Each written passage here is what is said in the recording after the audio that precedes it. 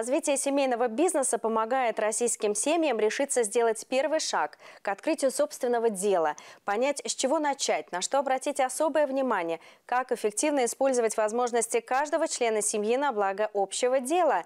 В Твери прошел круглый стол по развитию семейного предпринимательства, участие в котором приняли представители законодательной и исполнительной ветвей власти, предприниматели. Все подробности в следующем материале выпуска.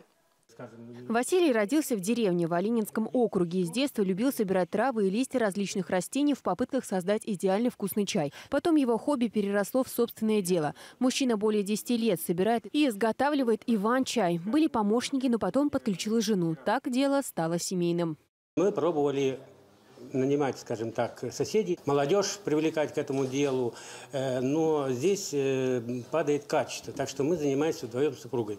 Один собирает, второй перерабатывает. Щепетильный такой труд, который требует э, большого внимания. Чай, он занимает практически сутки нельзя от него отходить. Опираются на семейные традиции ведения бизнеса многие тверские предприниматели, которые заняты совершенно в разных сферах. Примеры туристских объектов, да, это частные музеи. А сегодня будут э, производственные компании, кто производит мебель, есть те, кто оказывает услуги, есть и в торговом бизнесе, и в самых разных сферах.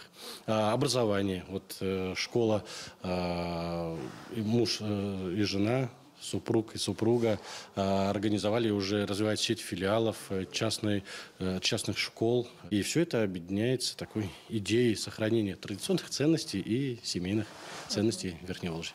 На федеральном уровне активно обсуждается предложение по легализации понятия «семейное предпринимательство». Соответствующая инициатива Торгово-промышленной палаты была поддержана. В 2019 году президент России отметил необходимость ввести четкое определение семейного бизнеса, чтобы власти могли беспрепятственно оказывать поддержку таким предпринимателям. На региональном уровне понятие «семейное предпринимательство» закреплено уже в восьми регионах. Работа в этом направлении идет и в Тверской области.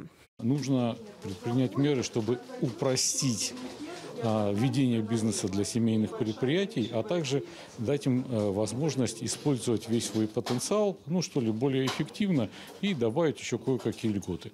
Вот эта вот система упрощения и, соответственно, стимулирования семейного бизнеса, она как раз с нами сегодня и обсуждается. Семейное предпринимательство является одной из самых устойчивых форм проявления деловой активности. Сейчас бизнес формирует отношения наставничества, преемственности поколений, создает предпринимательские династии и привлекает к труду молодежь. Очень важно поддержать э, наших, э, нашу молодежь, чтобы она не уезжала с нашей территории. Не будет работать, люди будут уезжать, согласитесь. Но тем не менее, если мы с ними работаем, и у них тут какой-то здесь бизнес, какой-то интерес появился, может быть, они получат образование, вернутся.